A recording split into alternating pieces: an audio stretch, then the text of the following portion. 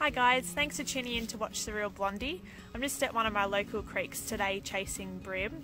The weather's fairly nice today, hardly any wind, warm temps, apart from the water temperature which is about um, 13 degrees, so it's not the greatest for the fish, but we're still going to give it a go.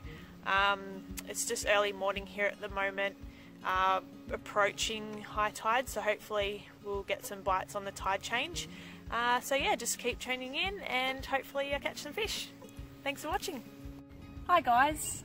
So I just landed this nice little flatty on the yak. Um, it took one of the ProLure black grub tails. Um, you know, with the ProLure grub tails in the UV black, they're very good for um, catching all sorts of species, but the the UV especially is great for the fish because they have different eyesight to humans, so we can't always see what they see underwater, and the UV picks up really well, and um, yeah, they, they see that a lot better than a, a lure that wouldn't have the UV in it. Um, so this guy's got some really nice patterns. They look awesome when they uh, put their fins up like that too. And yeah, so we'll get this guy back in the water and hopefully catch his big mama.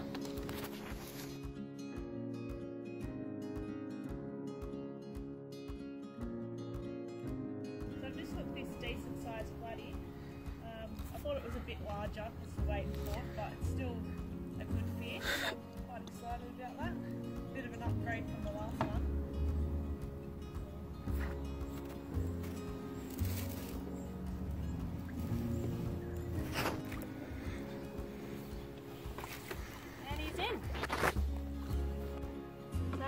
would be a perfect size to put on the plate if I was wanting a feed for tonight.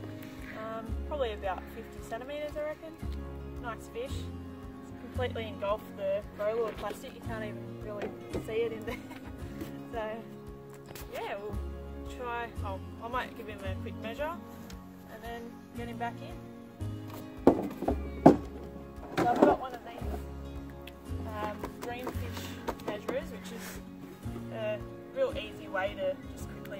fish so you can get him back in. Oop, just take him up in.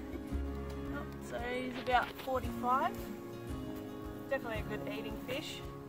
And we'll try and get this um, plastic out of its mouth and put it back. So it's good to have some pliers handy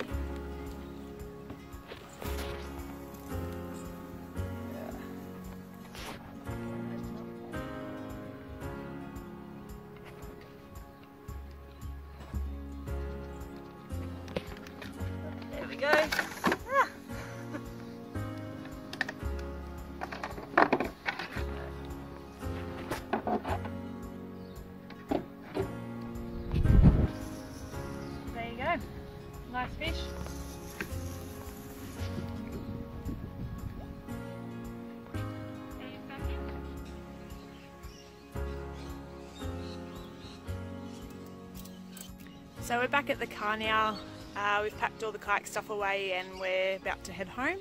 Um, it was a good day on the water. Uh, I only got the couple of floodies, but they were still good fun, um, and got I think another bream and um, a few hits from a bream as well, but um, didn't land them.